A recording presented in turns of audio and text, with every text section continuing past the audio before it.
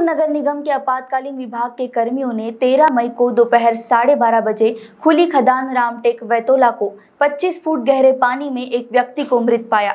मृतक 17 वर्षीय प्रेम घनश्याम धामने मनसर का रहने वाला है। स्थानीय भोई लोगों व प्रशासन के सफल न होने पर एसडीओ व तहसीलदार ने फायर ब्रिगेड की मदद मांगी। रविंद्र महाराज कोल्ले और विकास राठौड़ ने जोखिम उठाया और एक घंटे के भीतर शव को पानी में ढूंढ निकाला।